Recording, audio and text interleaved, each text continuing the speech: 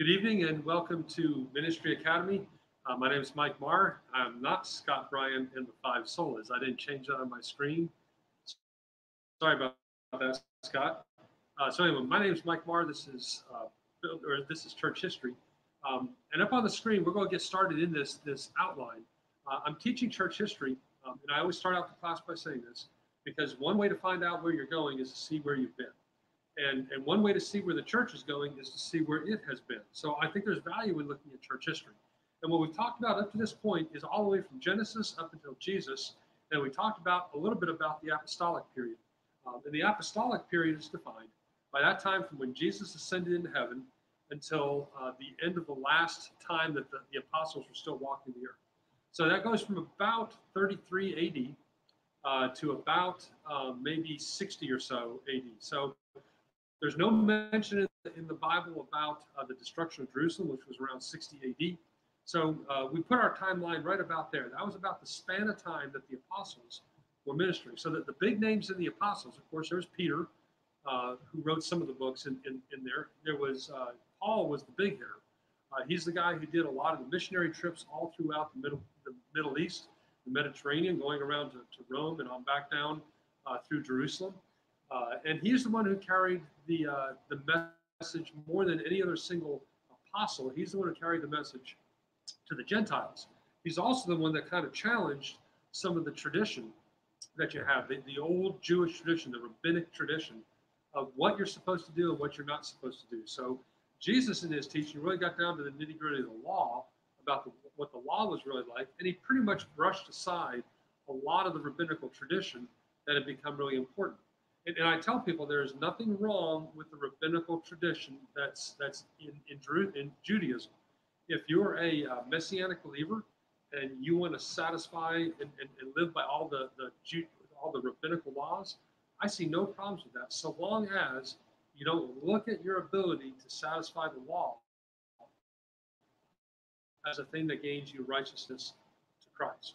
Uh, we talked about that in the class I was teaching last night. Uh, don't practice your righteousness in front of others. Uh, if you do, you get your reward in full. Don't look at the law as the thing that you satisfied and earned God's uh, favor. If you do, basically what you're doing is putting your, yourself in the place of God, uh, because He is the one who makes you righteous. It's not you. Now, when God makes you righteous, you act a different way as well. So there's that going on as well. But all that was going on leading up until uh, the apostles. And that was some of the big messages that Paul had uh, for the churches in Galatia and Corinthians or Corinth and Ephesus, uh, those churches around in, in Greece and going up into Turkey was saying, listen, it's not your ability to satisfy the law. It's not what you have done which brings you into relationship to Christ. It's what Christ has done that brings you into relationship. And now, based on that, you have a different set of affections. You have a different set of desires. You have different actions that you're going to have because you've been changed on the inside with a new relationship with the Holy Spirit and with Jesus and the Father. So that brings us up uh, to the point we're, being, we're talking about here. After uh, the apostles were done doing a, a, lot of their missionary trips and they were starting to die out, uh, Christianity really kind of solidified in four main cities uh, Jerusalem in, in Israel and Antioch in Greece. Uh, those two were like sister cities. They had a lot of common ideas. A lot of their traditions were the same. Uh, and to this day, if, if you were to look at what Eastern Orthodoxy has, the people that were in Jerusalem were much happier with Eastern Orthodoxy than they would with uh, Roman Catholicism or Protestantism. So Jerusalem and Antioch, Greece and, and Israel were aligned. The other one was Carthage or Hippo. That's that's in northern Africa. A guy named Saint Augustine. We'll talk about him later tonight. Was big in that. And the other one was Rome, and Alexandria was tied in there as well. So it was like Rome and Egypt and and Jerusalem uh, Israel and, and Greece. Those were the, the, the kind of separations between the church that had already started to begin. They're not denominations, but they definitely had their own sense of flavors. Uh, then talking further on about, um, you know, we talked about the age of the, the apostles. We're talking about those two centers. I want to talk a little bit about the age of the martyrs. Uh, martyr simply means uh, witness. So these are the people that witness to people, or they're you can you can witness what they're doing but they're the people that are the examples of what it's like to follow Christ. The first one up there is Polycarp, who was son of John. He was martyred in Smyrna for refusing to worship Caesar and he was um, and, and he refused to deny Jesus. He wasn't denying Jesus the way I have it written. He refused to worship Caesar and he refused to deny Jesus. Well, that was important because a lot of what was going on in that era area of the of the world at that point was the Roman Empire was exerting control over, over everyone that they had conquered. And one of the ways they did that was they installed Caesar as a god king that you would worship. So he would take the place of the resident religion that was in that area. Now, Judea had a little bit of a buy on that. The Roman Empire allowed the Jews to keep their religion so long as they didn't rebel against Caesar. All the other places around the Fertile Crescent, Fertile Crescent around the Mediterranean, uh, you they went in there and they said, no, no, no, you're not going to have your religion anymore. You've got to give worship to Caesar. If you want to go ahead and worship someone else as well, that's fine, but you got to worship Caesar. And the reason why, at first, was just simply to have the, the country knit together with a common morale, a common idea, a common tradition. So the, the Romans tried to keep everyone together with this worship of Caesar. Polycarp refused to do it. And on top of that, he refused to deny that Jesus was uh, the Son of God. He refused, to, he refused to deny that he was God himself. He refused to deny that he was a man. Basically, he upheld what we see Jesus as today. And that caused a lot of problems. Uh, he was a friend of Ignatius. Now, the way uh, that Polycarp was, was, was killed, um, I, I, I, can't remember. If you, if you ever want to look up and see how the, the martyrs, how the, uh, the, the, the, foundations, the, fathers of the faith, how they lived their lives and how they died, there's a book. It's called Foxe's Book of Martyrs.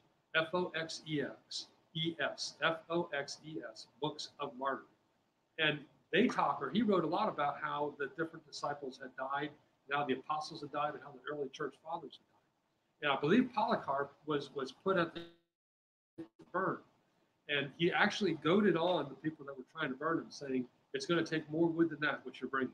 Uh, the attitude of the martyrs as they were going to be killed uh, really was was pretty amazing. If there was a greatest generation in America, uh, it, it, that's that title is given to the men and the women that served during World War II. Uh, but if there was ever a greatest generation of the of the Christian Church, that was a generation from the time of the apostles up until the time of Constantine, and that's where Polycarp stands. He was one of those guys that wasn't afraid to die and actually did die for the faith, uh, and, and gave a lot of uh, backbone and structure to what the church is today. Uh, the next guy, Justin Martyr, uh, he's really considered to be one of the first apologists.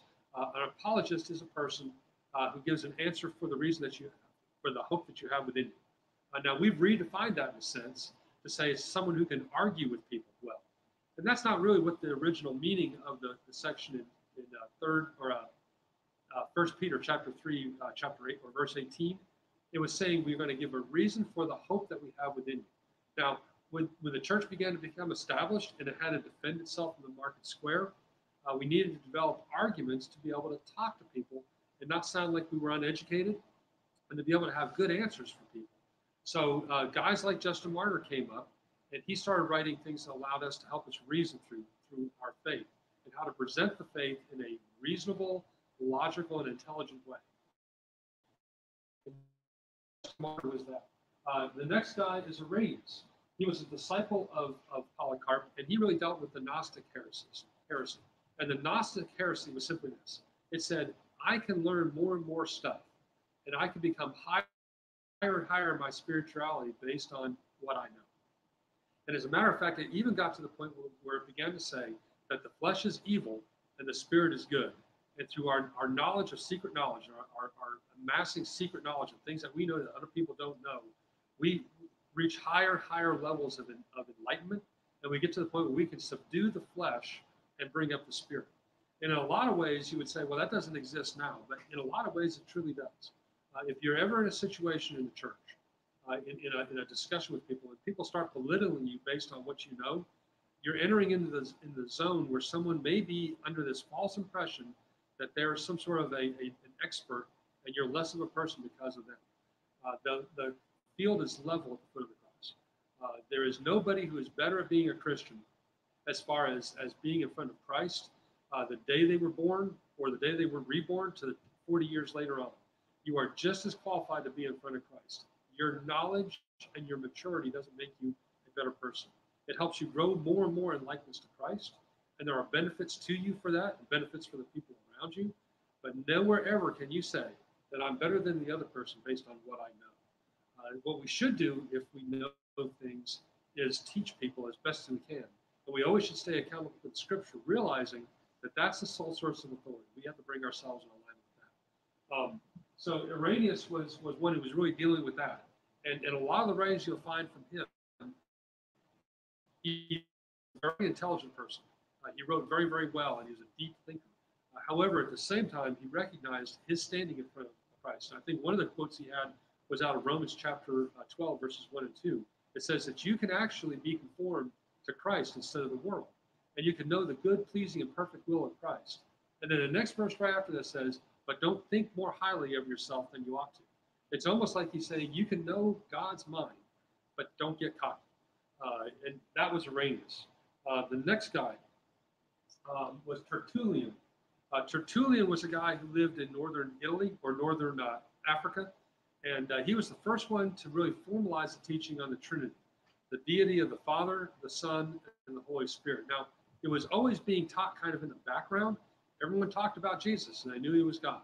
They all knew about Abba, the Father. They knew he was the Father. And they knew the Holy Spirit had descended. So they all had this sense of it, but no one ever sat down and actually came out and said, listen, there are three parts to the Godhead Father, the Son, the Holy Spirit. Uh, and they're all one, same essence, same nature, um, different persons inside that one, that one Godhead. Tertullian was the first guy who had that. He also had another little thing. Um, at the time that he was living, the, the church was starting to circulate letters through all different churches. And those letters were becoming the, the books of Matthew, Mark, Luke, John, Acts, uh, First and Second Corinthians, uh, First Second Chronicles, Timothy. All those books were letters that were being circulated all throughout the Mediterranean, and they were starting to begin to be brought together and put into one book. And people were making a big push to have the the book of approved letters and a book of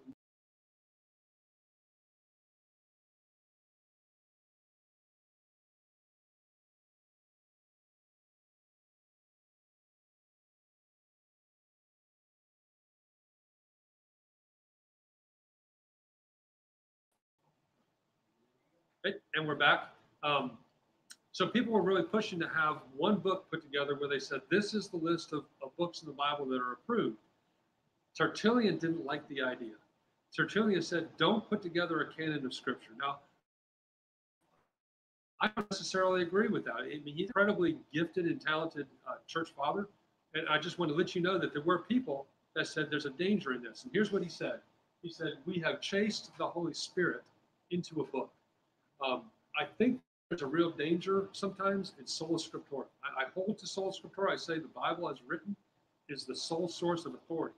However, there are revelations that come to us from the Holy Spirit that we need to compare against the scriptures. The Holy Spirit will never con- contradict the scriptures. But there are some things that we need to know about the culture we're in now. There's things we need to know about the people we're dealing with that the Holy Spirit can enlighten us about. And Tertullian was really afraid that what would happen is that all knowledge and all revelation from God would be over uh, in our minds because we've gone ahead and put the book of the Bible down in print. Uh, in, in some denominations, this has happened. Uh, there are people out there that would say God will never reveal anything to you uh, because He's already done it in the Scripture. It's just redundant. Uh, the Holy Spirit doesn't talk to you at all. The only way the Holy Spirit talks to you if you open the Bible and you read it. And I do agree that if you open the Bible and read it, the Holy Spirit talks to you.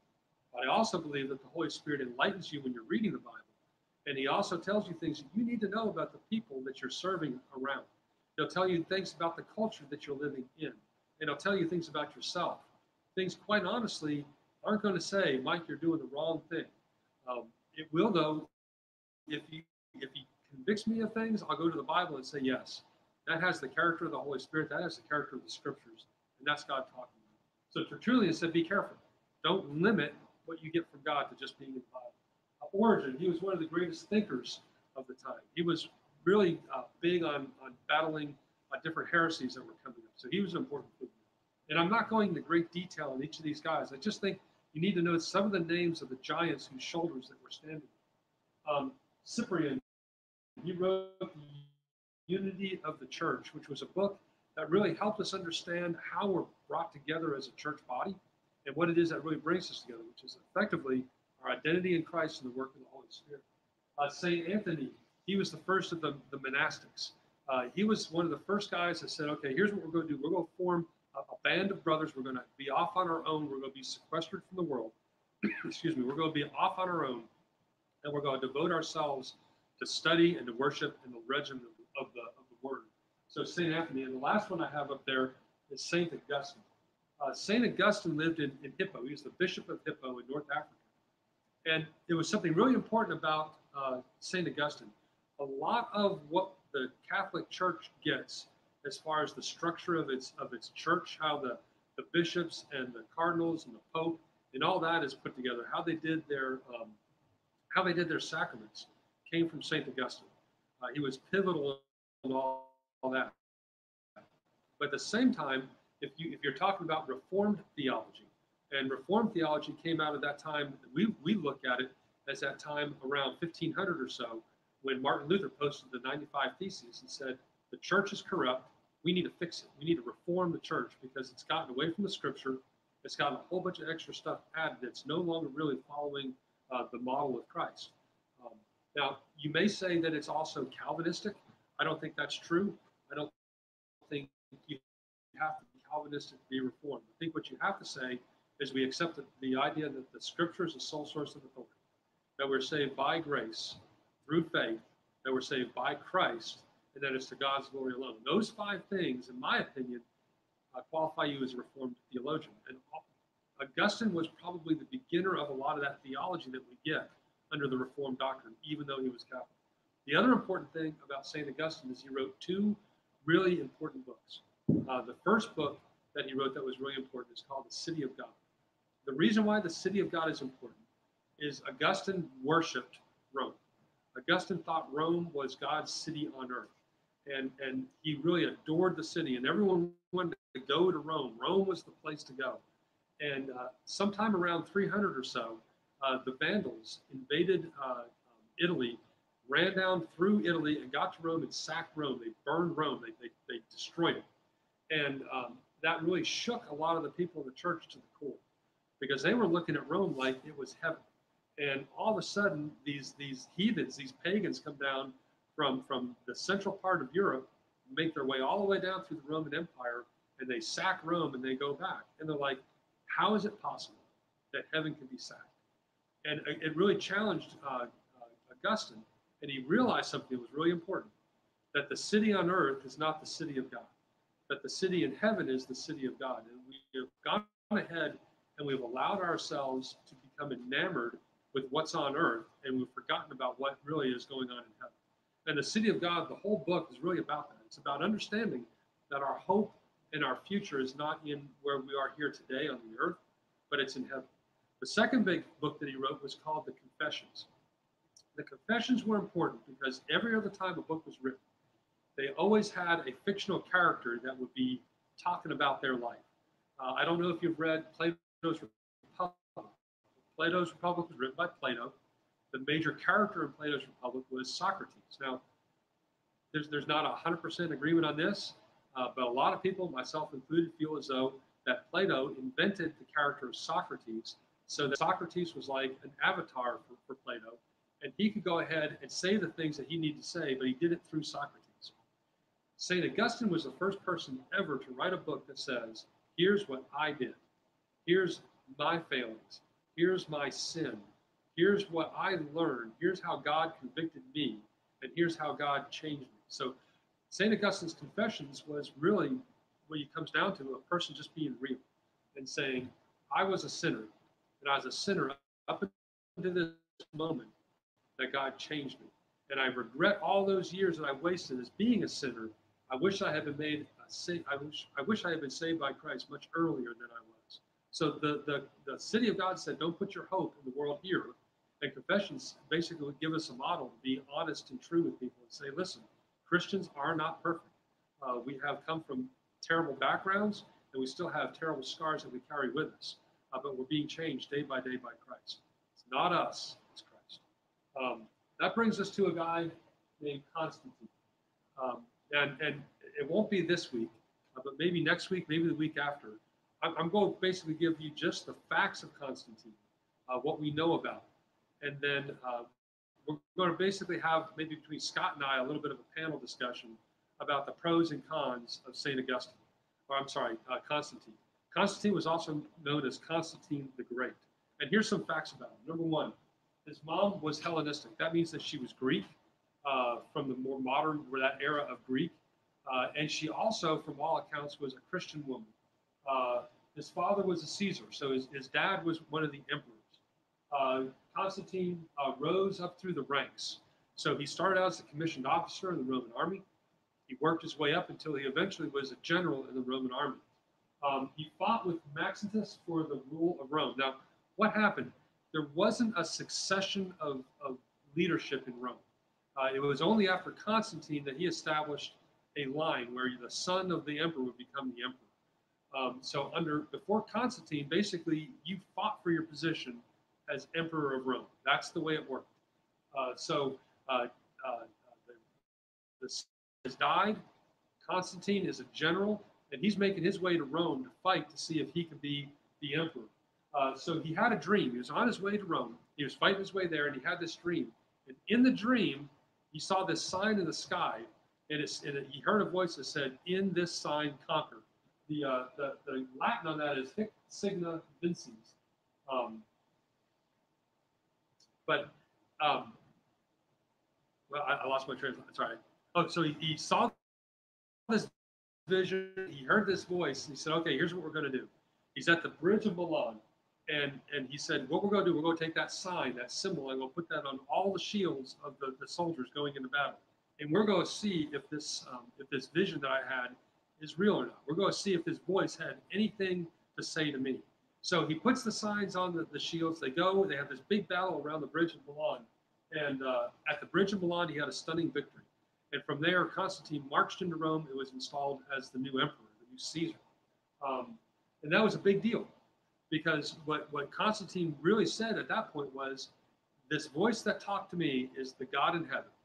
And the God in heaven told me to conquer in this sign. So I have a debt to this God in heaven. He has some power. So I'm going to I'm going to recognize it. The very first thing he did was uh, pass the law of tolerance for Christians. Um, and what, what that was, it was kind of a broad sweeping thing. First of all, they wanted to stop persecuting Christians. Up until this time, Diocletian, I think his name was, and Nero, and all the other all the other um, Caesars were really persecuting the Christians. I mean, they were putting them in the, the Colosseum, they were putting them in other type of arenas, they were feeding the animals, they were drawing them, they were quartering them, they were impaling them on spears, they were crucifying them. The Christians were being persecuted all the time.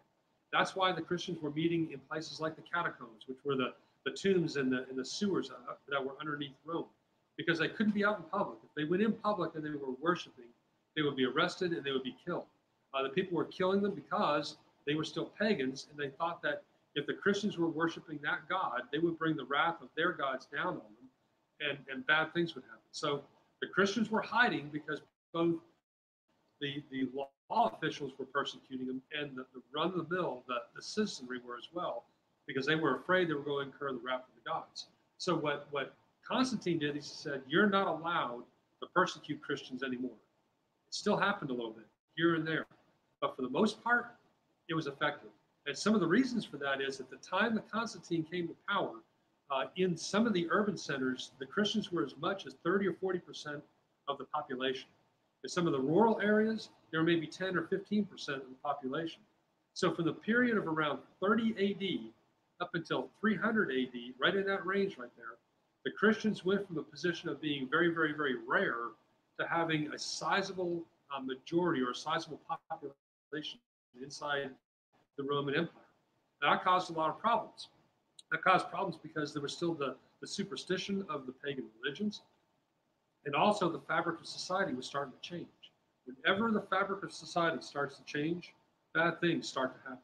It's really hard to get people to be able to accept change. Sorry, I'll go back.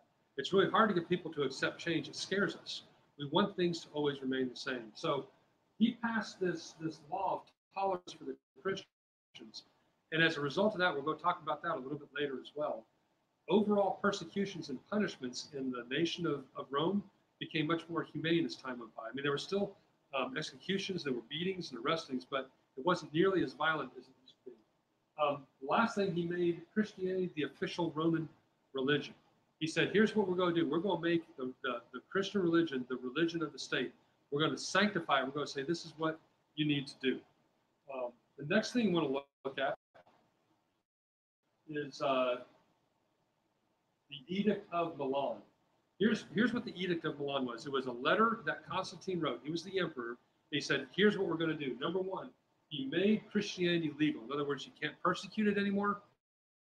Uh, you can't um, you can't punish them anymore. Uh, it's allowed. The second thing it did is it protected Christians. It said if you do harm, a Christian and they didn't do something wrong, you're going to be accountable under the law.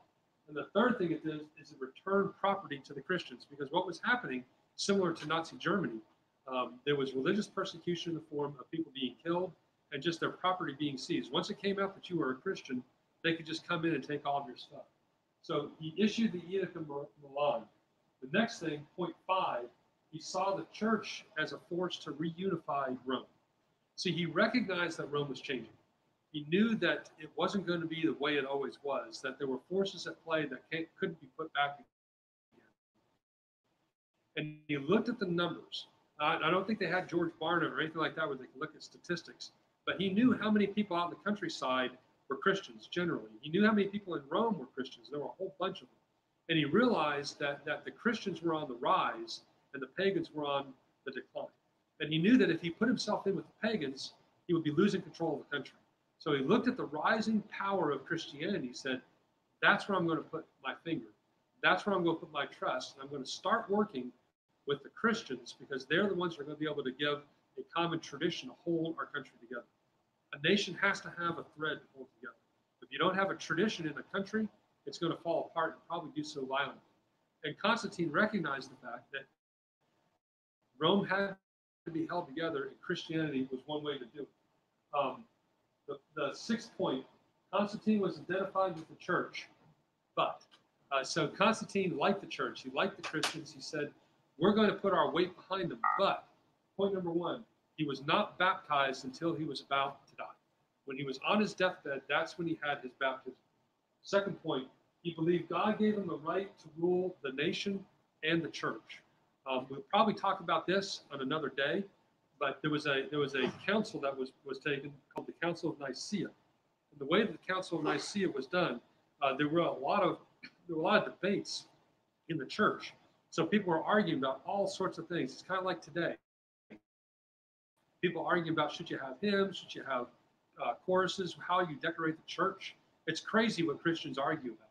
And Constantine was really, really worried because he said, you know what? I need to hold Rome together. And these Christians are bickering about all their different points of doctrine. So what we're going to do is we're going to call all of them together and we're going to settle this once and for all. So he paid for the transportation for all the bishops to come to Nicaea for a council. And all the bishops are gathered there, and the, the, the thing's about to start. And no one really knows who's in charge of the Council of Nicaea because there isn't a pope, there isn't a hierarchy in the church yet. This is being established in Nicaea and then later under Constantine. So no one knows who's in charge.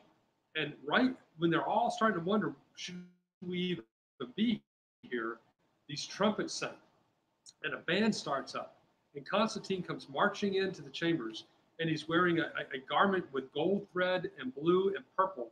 And he walks in, and there's this, this dais in the middle of the area where all these bishops are. And on top of this dais is this enormous throne.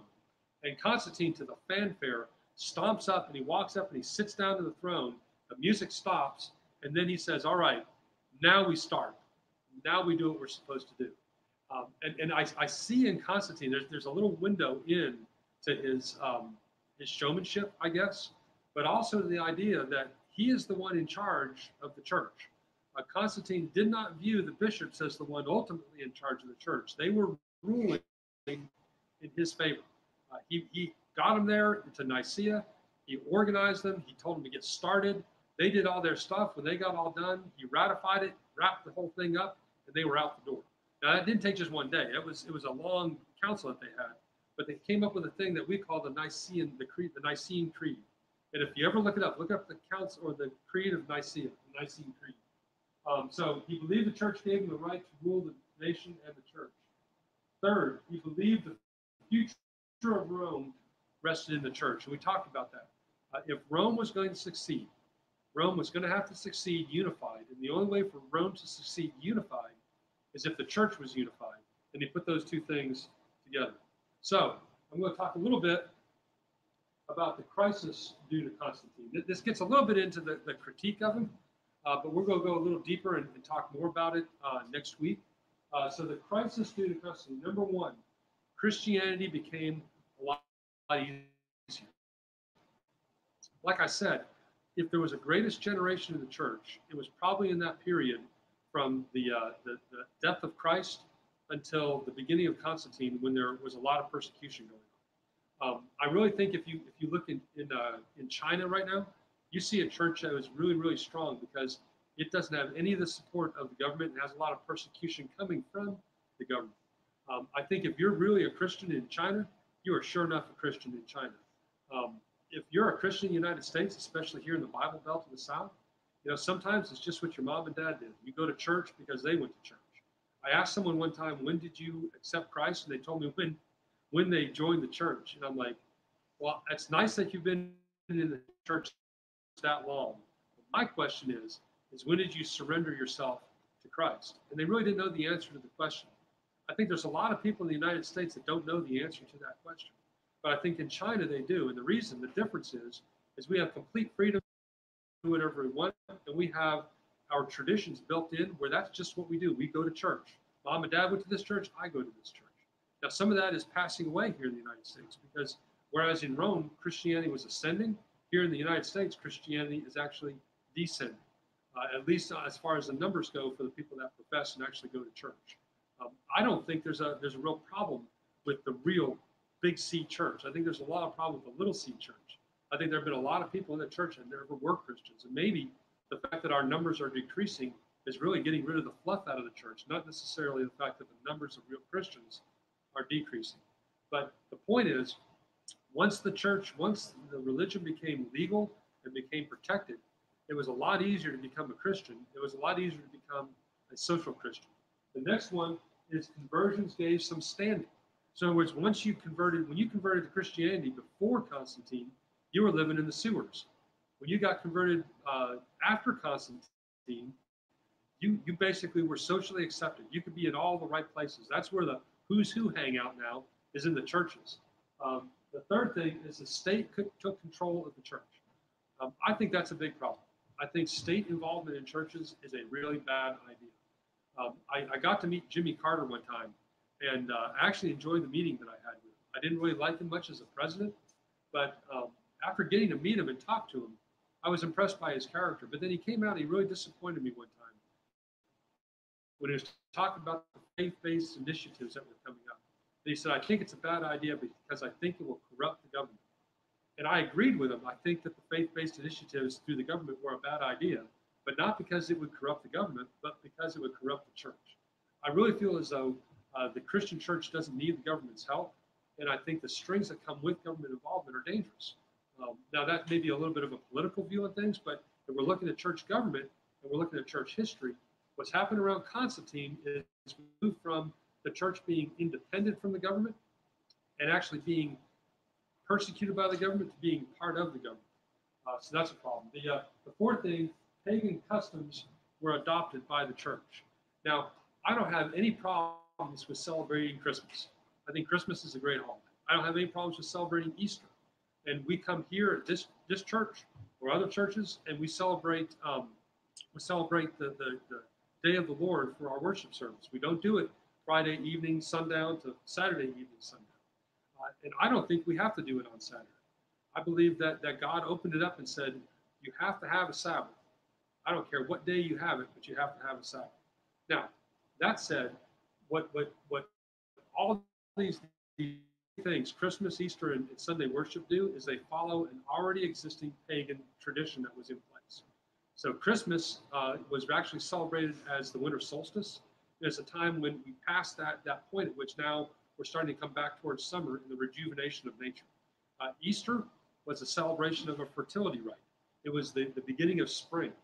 Um, I really think that that you can celebrate Easter and Christmas and it's fine. But I, what I'm pointing out is this: we got away from uh, the Passover, which is what the early church would have celebrated, would have been a, a messianic Passover, and we got away from uh, celebrating maybe when Christ was actually born, sometime in in uh, midsummer or late summer.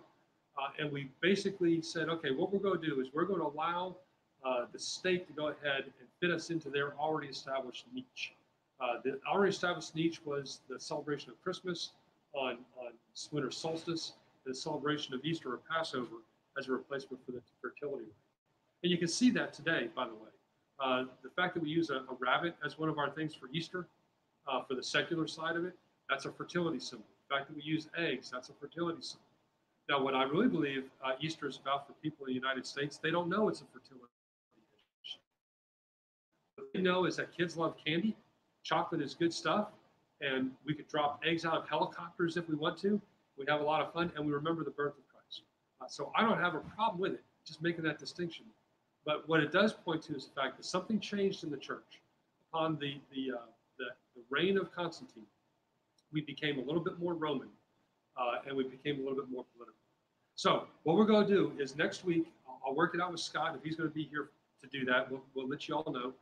Uh, but we're going to talk a little bit more about Constantine and about what some of his influences were, uh, both pro and con, and see how that has effects in the culture we're in exactly right now today. Because the, the truth of it is, is history has an effect all throughout time. So from the beginning of Constantine until now, there's an effect that we're feeling due to his reign and his rule. So uh, if you have any questions, the link is on the screen, info at thepioneernetwork.org. If you have any questions or comments, send them to that email. Uh, they'll be forwarded around to us and we'll answer them best we can. Uh, and we'll get back with you next week and talk some more about Constantine. So good night and see you next week.